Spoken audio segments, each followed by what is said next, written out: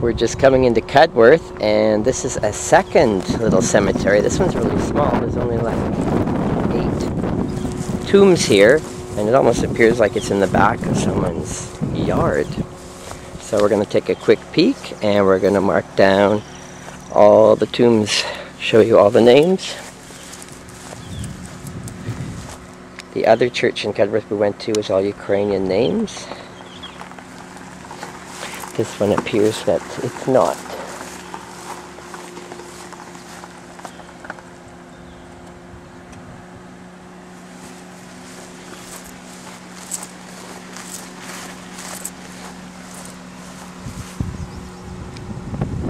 Potentially a French cemetery. French and English.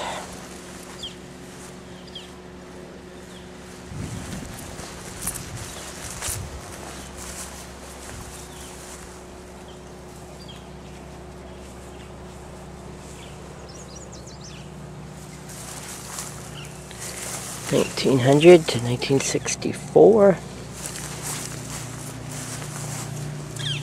One who served their country.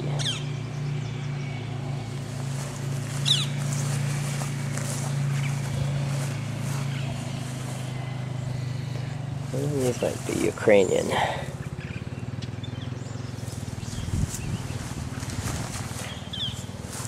Have a Yuzik here.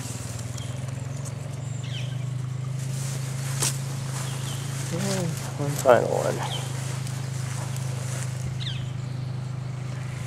Edward Kreider, remembered as a brother and uncle and a quiet man with high morals, life lives on in the hearts of family and friends.